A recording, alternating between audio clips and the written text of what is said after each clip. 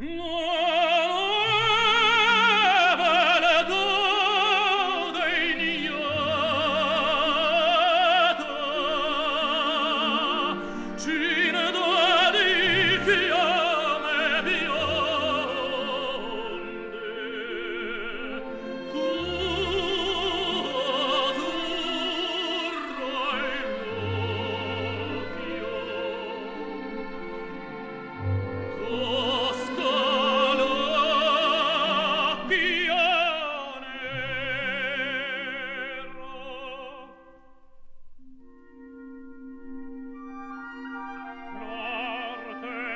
suo mistero.